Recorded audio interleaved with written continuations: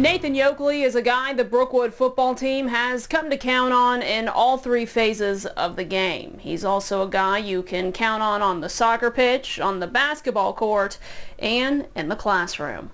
Nathan is this week's ABC 27 Scholar Athlete of the Week.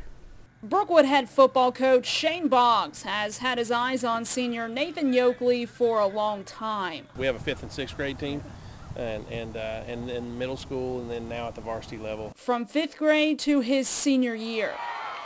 Nathan's been a force on the football field. I've never had a guy do all the things he's done. In every phase of the game. It's exciting. It's something I look forward to every week. Um, just in the locker room with all my teammates, getting hyped with the music on, just ready to go out to battle. It's fun. It's a battle he's thankful to fight. As a multi-sport athlete, Nathan's junior year of soccer was ripped from him thanks to COVID-19, which makes his final football season a little more special. I'm going to put 100% in each game, knowing that that might be taken away from me. Physically, he's a very, very different player. He was always a great athlete, but if you just look at him right now, he's, he's worked so hard in the weight room and just he's, he's faster, he's bigger, he's stronger. And uh, so I, I, think all of us probably appreciate it more just based on losing several months. Through the adversity, Nathan's continued to shine in the classroom.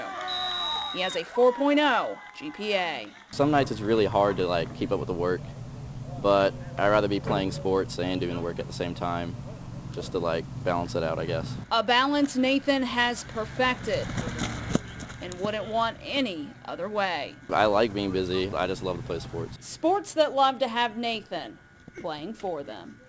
Nathan said he hasn't given up on the idea of playing football at the next level, but he said no matter where he ends up, he wants to study business. College football returning to the Big Ten. The conference presidents and chancellors met on Wednesday and voted unanimously to resume play after considering new medical information and testing possibilities.